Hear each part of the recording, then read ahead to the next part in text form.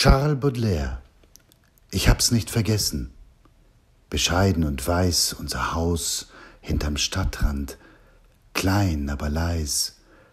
Die Pomone aus Gips, die Venus schon alt, sie versteckten sich nackt im dürftigen Wald. Und am Abend die Sonne, prachtvolle Glut, im Fenster sich brechend zu sprühender Flut, schien ein forschendes Auge am Himmelszelt, uns lange zur schweigsamen Mahlzeit gesellt. Weithin überströmte wie Kerzen ihr Licht den Vorhang aus Särge und das karge Gericht. Aus dem Französischen übersetzt von Wolfgang Marz.